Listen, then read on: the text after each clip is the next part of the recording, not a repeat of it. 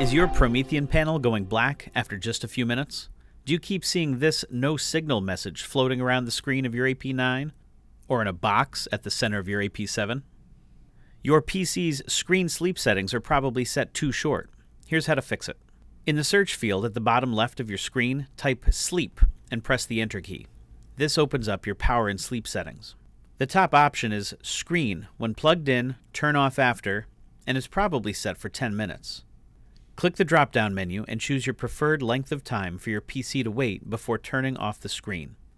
Whichever option you choose, your PC will always sleep after one hour of inactivity. That's the option you can't change. Click the red X button at the top right corner of the window to close it, and you're done. Your sleep setting has been changed. This setting might revert to the short 10 minutes default from time to time. If this happens, just follow these steps to return your PC to your preferred sleep settings.